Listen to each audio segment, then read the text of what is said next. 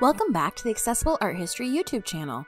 In this week's episode of Art History Minute, we are going to explore one of the most iconic paintings of the Surrealist movement. It's called The Lovers, and it was created by Belgian artist Rene Magritte in 1928.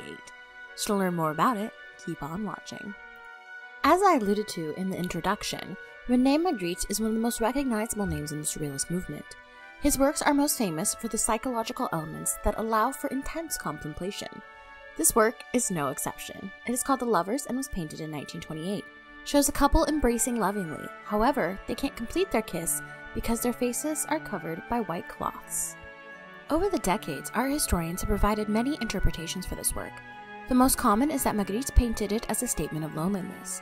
Although the couple are embracing each other, they are unable to be fully intimate. It could be a representation of the secrets that we all carry within us and have a hard time discussing with others. Whatever Magritte meant for us to see within this painting, it is clear that he was successful in creating a psychologically stimulating work.